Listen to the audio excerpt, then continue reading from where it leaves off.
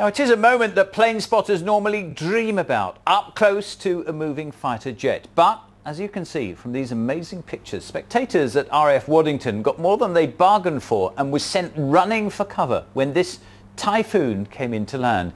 It was arriving for the International Air Show and eyewitnesses say it was the lowest they've ever seen an aircraft. Phil Connell has more. The Typhoon jet approached RAF Waddington on its normal flight path. For those on the ground, though, a surprise was in store. I saw a typhoon coming through and I thought, nice, I'll get my camera ready. And then next thing I thought, looks a bit low. In fact, plane spotters got more than they bargained for, with the aircraft passing within feet of the perimeter fence. Looking from the uh, the clips on YouTube and also our reactions, it was it was wow, that that was close.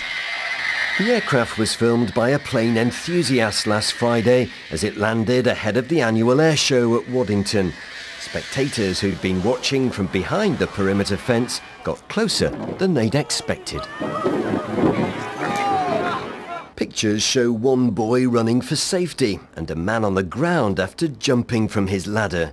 John and Christine Robinson, who run a cafe close by in the official viewing area, say they've never seen anything like it. It makes you realise why people shouldn't be stood there because you know these aircraft do come in low, they come in fast and if he'd have had to have put the power on um, there, there would have been people injured.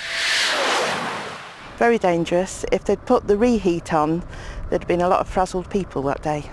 Spectators say he flew within just feet of the base's perimeter hedge here with the RAF today apologising for any inconvenience caused. In a statement though, the RAF said the approach of the typhoon was completely normal and individuals placing themselves under the flight path of the aircraft shouldn't be surprised if they experience jet wash. These pictures show why signs and warning lights are in place, but for many it's still a popular place to stand. though seasoned plane spotters say it's a definite risk.